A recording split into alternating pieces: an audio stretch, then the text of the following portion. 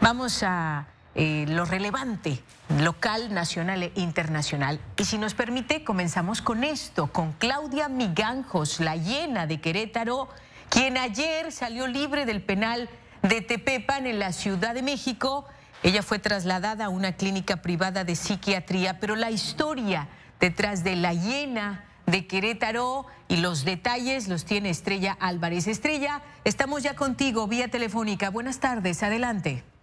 ¿Qué tal? ¿Cómo estás? Muy buenas tardes. Efectivamente, el día de ayer, Claudia Mijangos ya nos confirmó el presidente del Tribunal Superior de Justicia, José Antonio Ortega Cervón, que fue trasladada a una clínica especializada en materia de psiquiatría.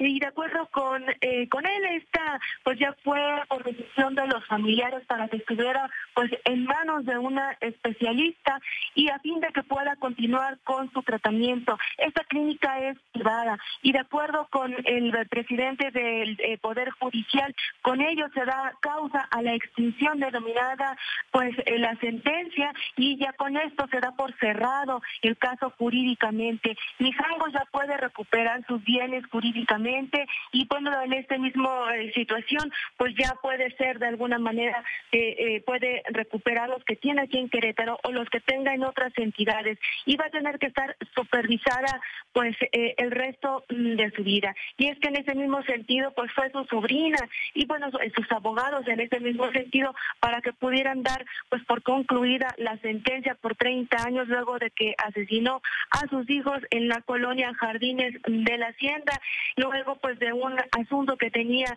pues una situación grave de esquizofrenia. Y es que hay que mencionar lo que fue en 1989 cuando en el interior de su vivienda en esta colonia Jardines de la Hacienda, la capital queretana, cuando pues los asesinó apuñaladas y bueno, luego de que pues habría sostenido, pues algunos dicen que sí, otros dicen que no, pues un romance aparentemente con un sacerdote en la capital queretana. Ella fue una maestra de catequesis, fue reina de belleza y bueno, posteriormente pues fue detenida pues las autoridades. Nunca dijo las causas por las cuales habría asesinado a sus hijos. Lo cierto es de que pues fue recluida en el pues en el penal primero de San José en Alto aquí en la capital queretana, posteriormente trasladada a lo que es el penal de Tepepan en la Ciudad de México, donde concluyó pues su sentencia de 30 años por el asesinato de sus tres hijos aquí en 1989 en la capital queretana. Lo cierto es que varias reflexiones se han hecho aquí en Querétaro,